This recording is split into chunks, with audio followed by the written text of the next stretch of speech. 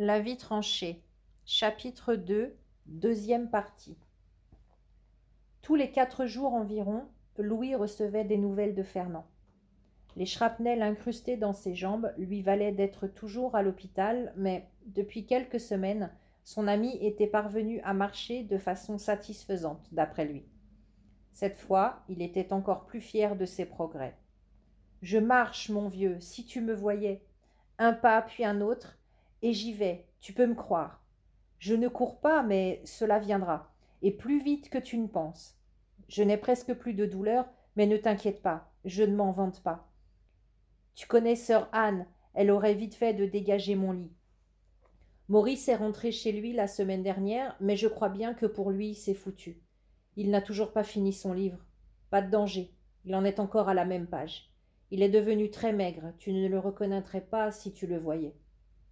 Il est parti comme ça, son livre sous le bras, sans rien dire, ni au revoir, ni rien.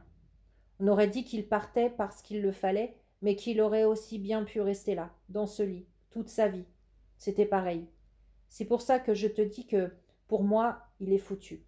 Il recevait trois lettres par semaine de sa mère, parfois une de sa tante, et, après son départ, il en est arrivé une encore.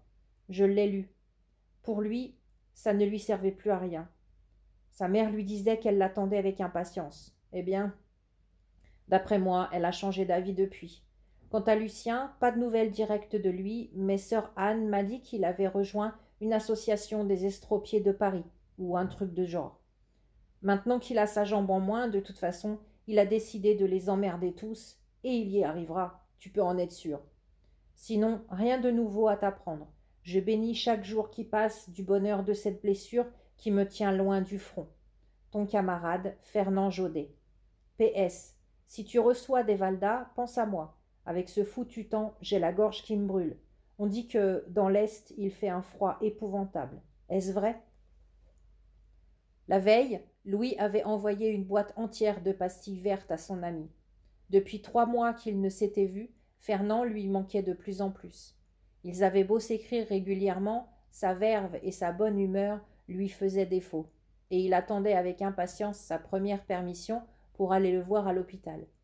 Il ferait un crochet par la roche, ce qui le rallongerait, mais bon.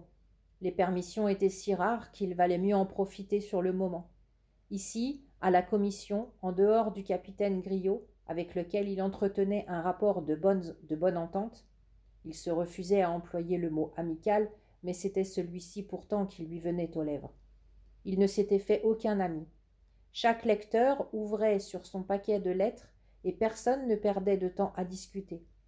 Le soir, quelques-uns, qui avaient eu le bonheur de trouver une chambre non loin, rentraient dans une maison tandis que la grande majorité des autres, dont Louis, dormaient au dépôt servant aussi de cantonnement au régiment de passage.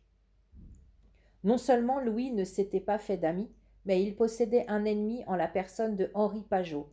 Cet homme sec, notaire de quarante ans, excessivement scrupuleux des règlements, exerçait lui aussi comme lecteur et partageait avec Louis un même coin de table.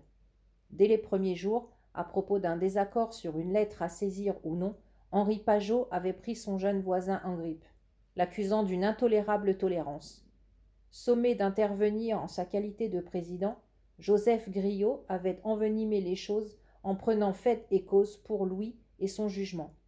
La lettre, frappée du cachet protocolaire contrôlé par l'autorité militaire, avait alors repris la route vers son destinataire et Louis avait gagné pour l'éternité un ennemi farouche. À cette heure, Pajot était déjà rentré chez lui.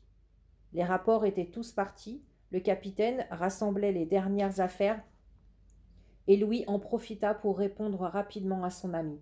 Il tira une feuille d'une chemise posée sur le bureau et porta sa mine de crayon à sa bouche pour l'humecter. Cher Fernand, je t'ai envoyé hier une boîte de Valda. Laisse-les fondre lentement, car je ne suis pas sûr d'en recevoir de sitôt. Ma mère dit avoir de plus en plus de mal à s'en procurer. Ici, il fait très froid, en effet, et je vois passer beaucoup d'hommes évacués pour des pieds gelés.